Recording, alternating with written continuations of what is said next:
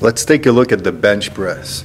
Now, there's many different ways to do bench press. So you have uh, the powerlifting style bench press, or you have the bench press that we're going to teach here that we tend to use more with the athletic population. So the problem with the powerlifting bench is, as great as it is, uh, in order to push a high amount of weight, the problem is it's very restrictive in terms of mobility. So the powerlifting bench, usually you're going to retract your shoulder blades, squeeze them tight together. You're going to use a wide grip, and it's all about finding a path, a bar path that's the shortest distance possible so you can push the highest amount of weight. But with the athletic population, just the same way you would with the squat, the goal of the bench press is to work your extensors through its full, fullest range of motion. And you still want somewhat a little bit of freedom in the scapula because when you're exerting forces in a sporting event, your scapula will, will not be locked behind your back and between a bench. Okay, so you're, you're never going to push like this as a lineman in football. The scapula will, will be allowed to move somewhat. Okay, but that being said, you still need some scapular stability in order for your shoulder to be stable and safe and tight in the glenohumeral, glenohumeral joint. So um, anyway, so Alex will demonstrate the bench, then we'll discuss further. So first of all, so she lies down on the bench. Her feet should be, the middle of her foot should be in line with her knee. Okay, like a, a foot base that's a little bit wider than shoulders to be stable. Now, she's going to rest on her back. She's not necessarily locking the scapula, okay? She just lies down on her back with a very neutral, natural spine and shoulder uh, position. Now, she unracks using a full grip, a little bit wider than shoulder. Now, the goal is as she's lowering down, okay, the safest position for the barbell is the arm, the humerus at 45 degrees to the torso. Okay? Now you see as she's lowering, the, her grip allows the elbow to be right under her hand.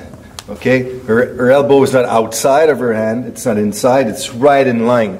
This way, you'll be able to exert more forces as all the forces are directly under your support on the barbell.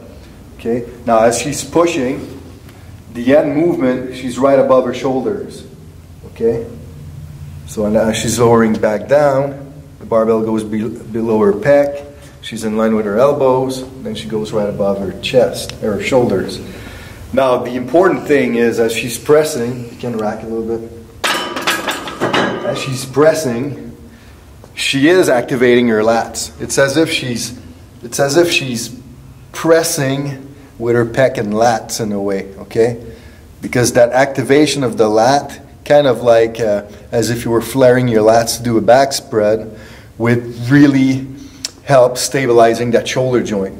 But that being said, you don't want to protract at the end of the movement, okay? You're still stable, but you're activating your lat in order to really push and create stability on your press, okay? So just do a couple more reps. So tight grip. Okay, the firmer the grip on the barbell, the more motor units involved in the press. Okay, good. Bar path. Let's see, as she's pressing, there's some good activation in the lats right there. Okay, the other important part, racket. The other very important part is the ribs. A lot of people, when they're pressing, they're going to flare out the ribs, and this area will be super soft. Okay, if that happens, there's no stability.